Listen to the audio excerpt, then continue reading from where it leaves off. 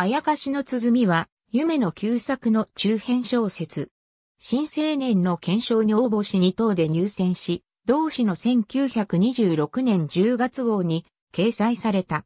夢の旧作名義での症状作である。100年ほど前、猿、鼓作りの職人が、綾姫という姫君への破れた恋の形見にと、情念を込めて、上等の歌詞の木で鼓を作り上げる。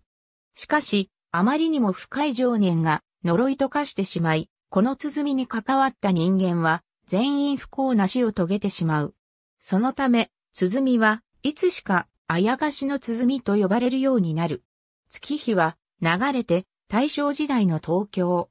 主人公である私こと恩丸久也は病床の父から死の間際にあやかしの鼓にまつわる因縁話を聞かされる。あやかしの鼓を作った職人は自分たちの祖先であることや存在さえ定かでなかったあやかしの鼓が実在し、腕のいい鼓職人だった父が実際にその鼓を手にしたことがあること。そしてお前は絶対に鼓を習おうなんて思うな。触れてもいけない。と言い残して、父は息を引き取った。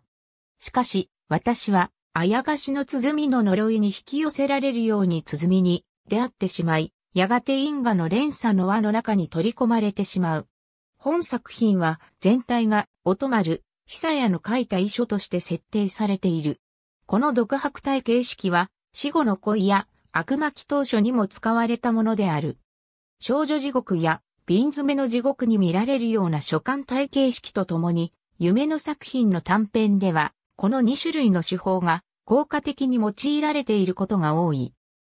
新青年の検証の選考委員だった江戸川乱歩は1926年6月号の当選作書簡において、本作品に他の選考委員が高く評価しているのに対し、これはどうも私には関心できません。